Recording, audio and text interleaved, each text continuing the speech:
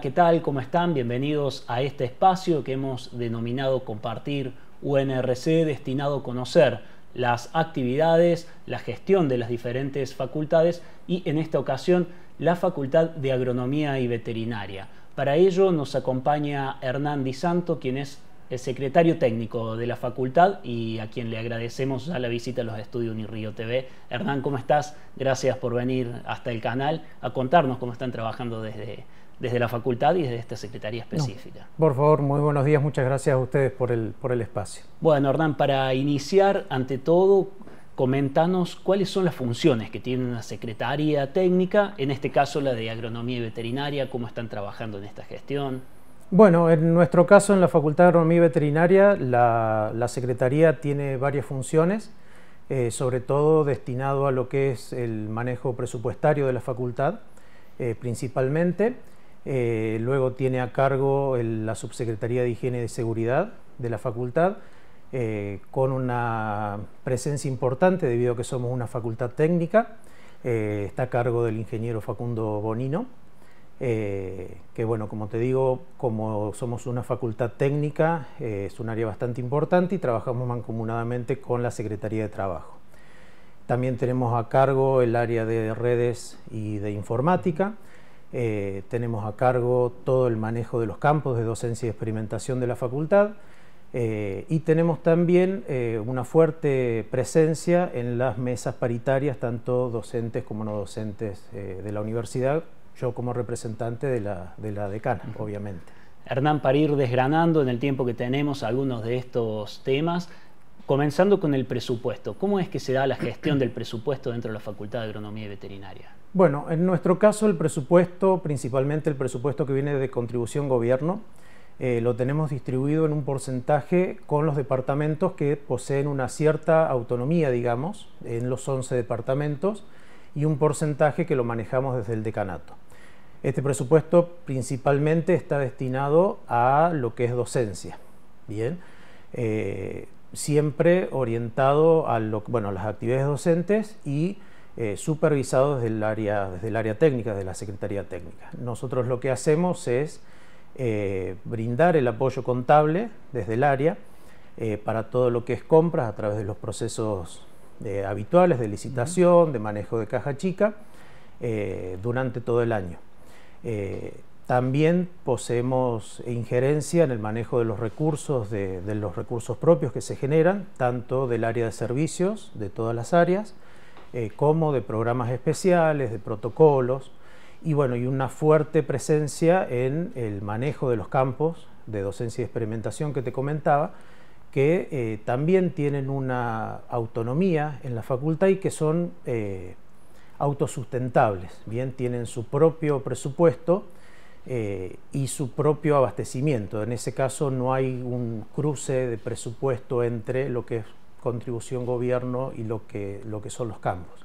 Lo que lleva también a una complejidad en los campos porque se manejan desde eh, la, la, gestión, digamos, de la universidad o con las normativas de la universidad, pero con un presupuesto cerrado de, autoabastecimiento, digamos.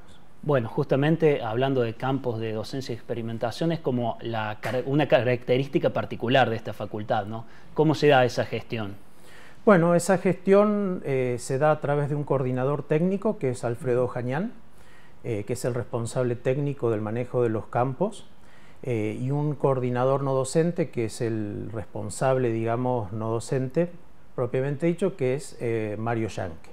Esos campos están distribuidos eh, acá en el campus de la, universidad, de la universidad, en el sector sur, dentro del mismo campus, está el sector del CISPRODEM, que es el sistema demostrativo productivo, en donde hay eh, cabezas de ganado que se usan principalmente como recurso de docencia para la carrera de tanto de agronomía como de veterinaria, el sector de vivero, el sector de monte frutal, eso en el campus de la universidad. En el sector norte se encuentra el campus SEC Norte, en el también lindante, cruzando la ruta 36, y el campo Pozo del Carril, que está a 50 kilómetros, ubicado en la localidad de La Aguada.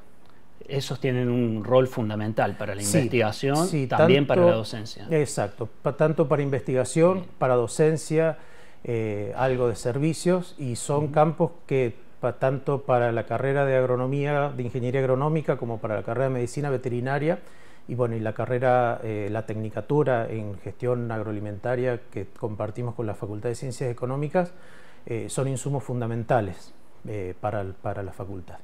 Volviendo a la pregunta inicial, nos mencionabas acerca de las diferentes funciones, actividades dentro de la Secretaría, y una de ellas era referida a la conectividad. ¿Cómo están trabajando desde la Facultad de Agronomía y Veterinaria?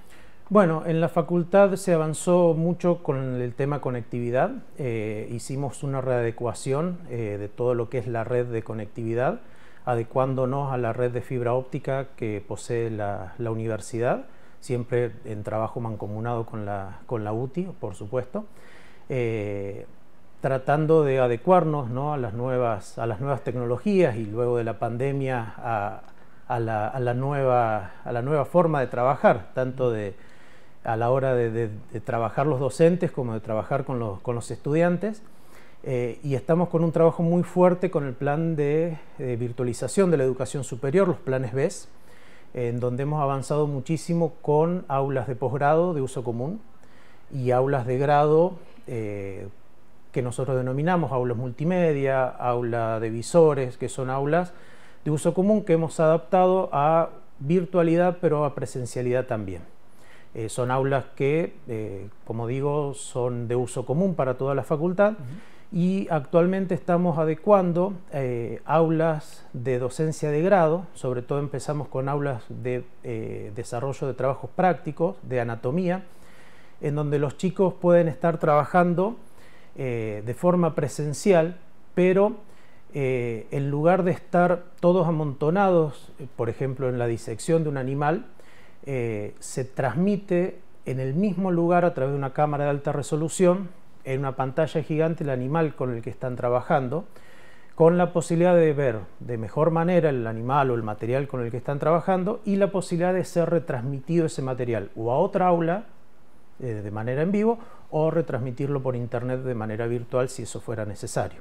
Muy importante. es, es muy importante, sí, eso nos va a llevar también a que en algún momento donde se requiera de mayor virtualidad, eso se puede hacer.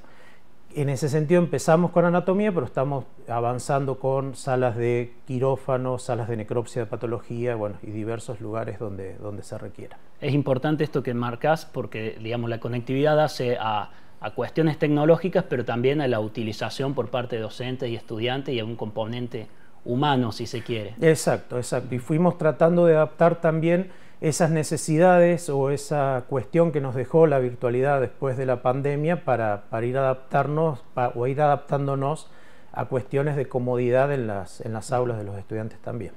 En cuanto a infraestructura, ¿cómo está trabajando la facultad? ¿Qué proyectos hay? ¿También es función de la Secretaría la cuestión del mantenimiento? Sí, también es cuestión de la Secretaría tanto el mantenimiento como bueno, la, infraestructura.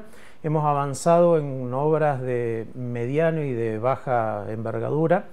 Eh, estamos terminando junto con la Secretaría de Coordinación Técnica la refacción de baños principalmente que están pronto a inaugurarse. Hemos hecho algunos arreglos de, menor, de menor importancia, eh, hasta donde el presupuesto por ahí nos deja, nos deja ir avanzando.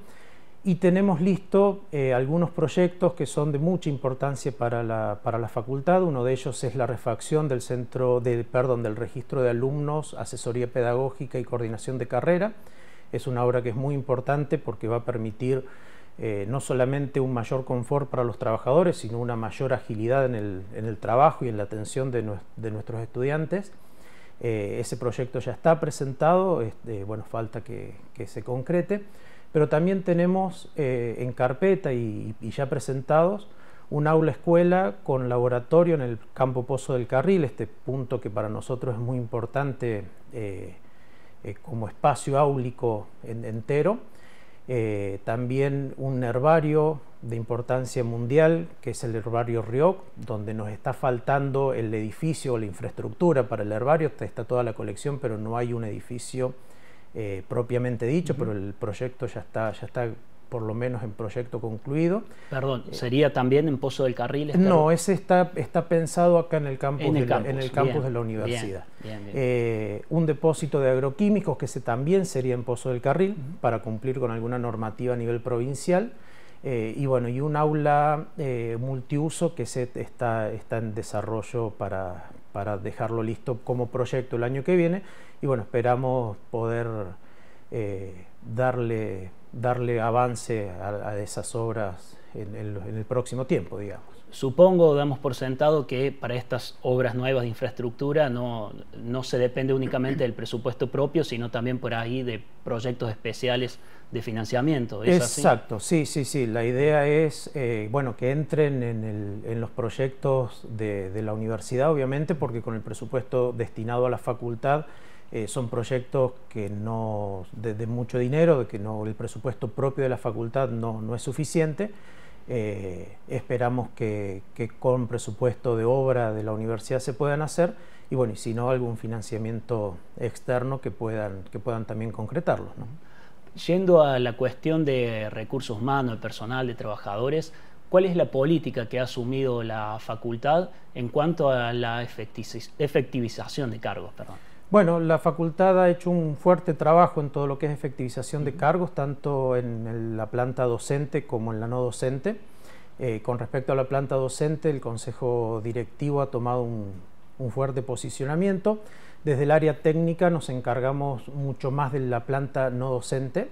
Eh, en ese sentido, eh, tuvimos una fuerte participación tanto en la paritaria como desde la facultad eh, y llevamos en lo que van de los dos años de gestión más de 15 procesos eh, de concursos y a través de reestructuraciones y de, bueno, sí, de concursos que eh, en algunos casos estaban un poco relegados, pero llevamos más de 15 procedimientos ya concretados y en concreción, lo que permite bueno, haber mejorado mucho la estabilidad de los, de los trabajadores no docentes eh, lo que lleva a que antes de fin de año ya casi no tengamos contratos eh, en, nuestra planta no docente. Un importante avance para la estabilidad laboral. Un, importante avance, así es. Hernán, muchísimas gracias por el tiempo, por haber venido hasta el canal. Obviamente quedan algunos temas eh, pendientes por profundizar, como es la cuestión de higiene y seguridad. Con, seguramente en su momento lo hablaremos con el subsecretario. así que muchísimas gracias por venir. No, por favor, gracias a ustedes por la invitación una vez más. Hernán Di Santo, quien es el secretario técnico de la Facultad de Agronomía y Veterinaria. Así llegamos al final de este compartir UNRC. Continúen con la programación de Unirrío TV. Muchas gracias.